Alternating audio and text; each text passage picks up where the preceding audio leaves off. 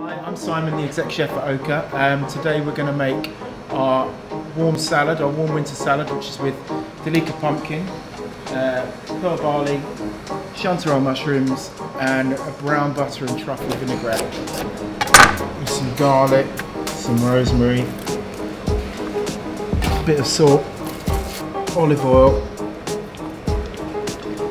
and it's going to go in the oven to roast for about 20 minutes. Put the mushrooms in some butter, cook. So you just want like nice foaming butter, not too hot, because it will burn. They don't take long to cook, they're quite delicate. Some barley.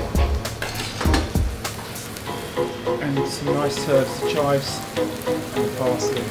Brown butter dressing, which has got sherry vinegar in it. This is uh, pumpkin puree, so with, with the roast pumpkin, we keep some of it for the dish, and then half of it we blend with brown butter to make a puree.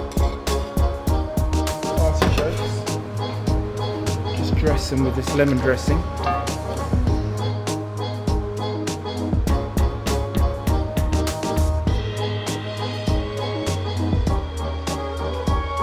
All this dressing around the plate. Fresh truffle.